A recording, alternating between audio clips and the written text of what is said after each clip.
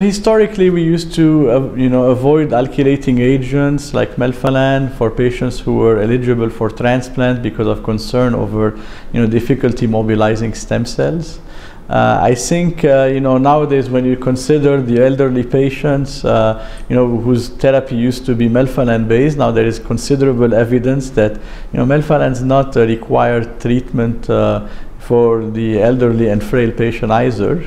Uh, but actually the most important determinant of outcome in patients who are elderly and frail turns out to be you know the patient's fitness or their frailty indicators and for those patients who are considered to be frail perhaps a doublet such as lenalidomide dex uh, that's dose adjusted uh, or you know a gentle you know sub-q weekly bortezomib dex approach could be very you know reasonable for a patient who is you know maybe of intermediate fitness a triplet I think would be very reasonable, such as you know bortezomib, lenalidomide, dex. On the other hand, for, for the young and fit patients, um, typically the standard of care now, nowadays would be you know a VRD approach such as bortezomib, lenalidomide, dex. I'll, I'll review some of the data and I'll also review some of the emerging trials that are you know coming up and challenging that uh, that data you know for the future, looking at say KRD combination of carfilzomib, lenalidomide combination, incorporation of monoclonal antibody into upfront treatment.